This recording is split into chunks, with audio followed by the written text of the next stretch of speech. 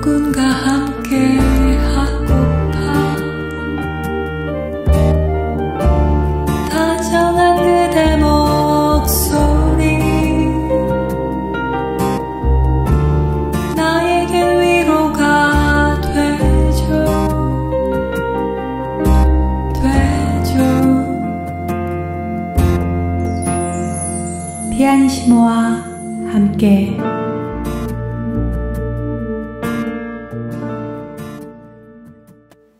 안녕하세요.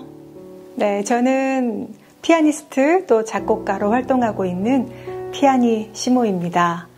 네, 그동안은 제가 앨범으로 쭉 여러분하고 만나면서 어, 앨범으로 활동을 했었는데요. 어, 이번에 이렇게 영상으로 여러분 찾아뵙게 됐습니다. on-demand TV로 시청해주시는 여러분, 유튜브로 또 함께 해주시는 여러분, 감사합니다. 이번에 음, 스토리를 담은 음악으로 여러분 찾아뵈려고 그래요.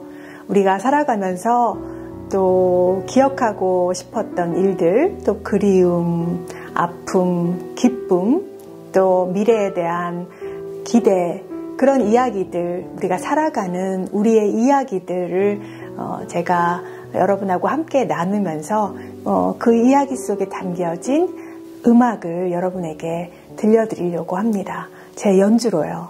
아, 그래서 다음 시간에는 우리가 살아가는 이야기 또 그 안의 음악들 이렇게 해서 어, 같이 영상으로 여러분 찾아뵙겠습니다. 저만의 이야기가 아닌 여러분의 이야기 또 기다릴게요. 여러분 함께 해주시고요. 여러분이 또 추억하고 싶었던 일들 또 전하고 싶은 이야기 또 사연으로 저에게 남겨주시면 제가 아름다운 음악과 함께 전해드리는 시간 갖도록 하겠습니다. 네, 많이 기대해 주시고요. 함께 해 주시면 고맙겠습니다. 네, 저는 피아니스트 피아니 시모입니다. 감사합니다.